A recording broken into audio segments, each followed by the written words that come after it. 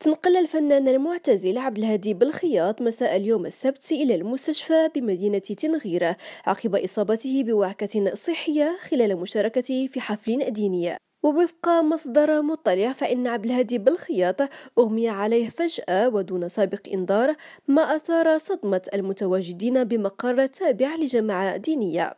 وأوضح المصدر ذاته أن حالة الفنان المعتزل جد حرجة وقد تم وضعه تحت المراقبة الطبية.